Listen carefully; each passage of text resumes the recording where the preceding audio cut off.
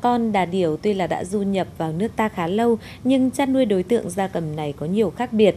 Để có thể nuôi được đà điểu thịt đạt hiệu quả thì trước tiên là bà con cần phải có không gian và hệ thống chuồng trại phù hợp.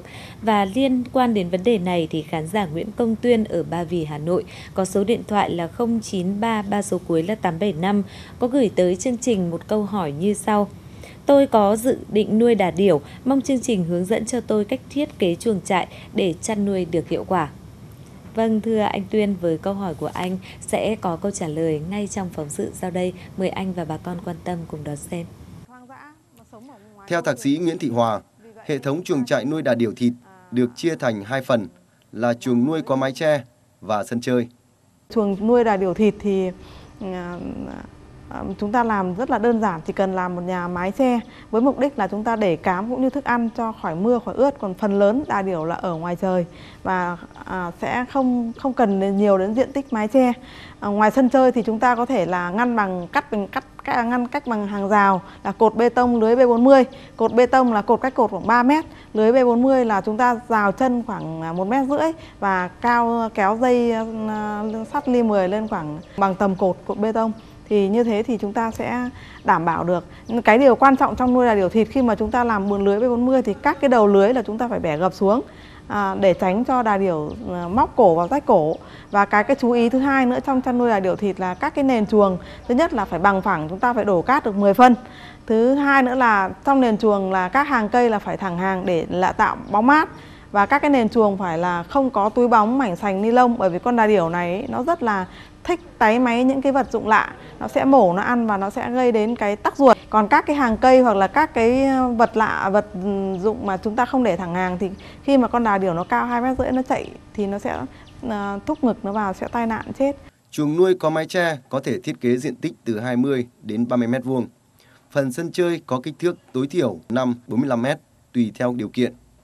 Yêu cầu diện tích chuồng nuôi từ 1 đến 2 mét vuông nền chuồng một con và 15 đến 35 mét vuông sân chơi trên một con. Bản năng của đà điểu là chạy, nên sân chơi phải có diện tích rộng. Phần sân không có thảm cỏ, cần phải lót cát. Giai đoạn này, đà điểu hầu như ở ngoài trời. Vì vậy, sân chơi đối với chúng rất quan trọng. Đồng thời, đà điểu thịt phát triển khá nhanh.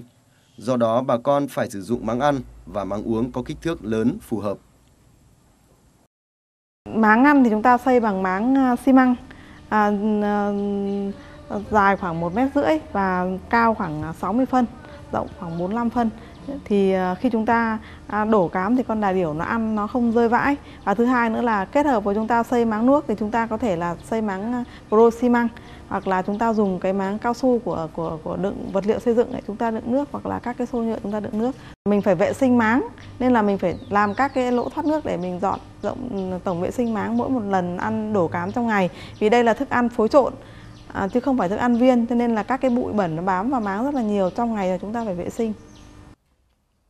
Máng ăn được cố định ở độ cao từ 30 đến 50 cm để đà điểu tiếp nhận thức ăn dễ dàng, không dẫm đạp lên thức ăn đảm bảo mật độ từ 5 đến 10 con trên một máng ăn.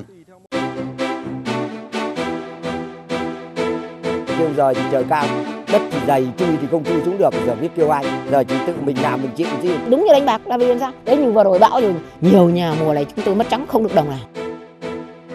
Những vấn đề nóng bỏng của làng quê Những kỹ năng và tri thức để phòng vệ Những con đường nông dân khởi nghiệp và sự nỗ lực không mệt mỏi. Thông qua kênh VT16, tôi đã tìm hiểu được rất nhiều về những cái phương tiện sản xuất trên lĩnh vực nông nghiệp. Học được nhiều cái, cũng đi lên cũng có nhiều kinh nghiệm trong cái việc trồng trọt. Phân tích, bình luận với các chuyên gia uy tín. Với ta họ rất dễ dãi, nhưng mà cái điều đó lại biến chúng ta trở thành sự luống thuốc không chuyên nghiệp. Anh muốn giữ được thương hiệu thì anh phải có chiến lược dài về cái sản phẩm của mình nông nghiệp, nông dân, nông thôn đang chuyển mình như thế nào. Nông thôn chuyển động 6 giờ 10 phút hàng ngày, phát lại vào 14 giờ 15, 21 giờ 40 trên 3N VTC 16.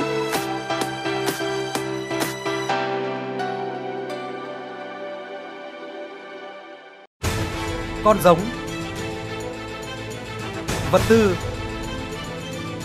Sâu, dịch bệnh Cách phòng trừ mô hình hiệu quả chia sẻ kinh nghiệm.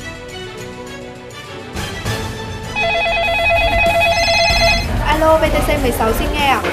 Ở đây chuyên gia trả lời cho bác là cây bí đã bị bệnh do virus cái hại ạ. Bác đã làm theo các đồ điều trị của chuyên gia chưa ạ? Bác chưa theo dõi được chương trình ạ? Vâng, vậy vì bây giờ bác có thể chuẩn bị sẵn giấy bút ạ. Cháu sẽ đọc lại lời tư vấn của chuyên gia cho bác ngay bây giờ ạ. Mọi vướng mắc của bà con trong quá trình sản xuất nông nghiệp sẽ được các chuyên gia uy tín trong ngành tư vấn, giải đáp. Tổng đài tư vấn nông nghiệp 1900 6145 luôn sát cánh cùng nông dân Việt Nam.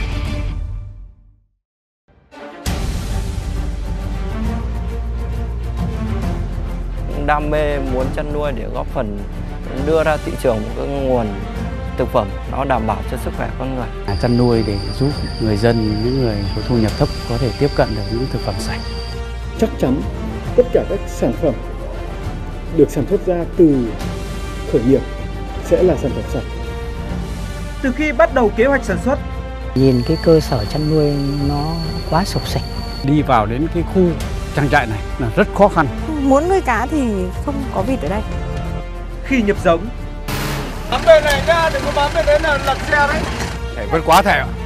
Này mà không tâm huyết, bỏ chương trình mất. Cái này là cái sai lầm cơ bản của nông dân. Cứ nghĩ vườn tốt, cây tốt, chọn cái đó làm giống là là sai lầm. trong suốt quá trình sản xuất, Vườn này năm ngoái là thiệu ca lên này. Cắt là phải chọn vào những cái ngày nắng ráo như thế này. Chứ còn những ngày mưa tuyệt đối không được, không được cắt tỉa. đến khi thu hoạch sản phẩm,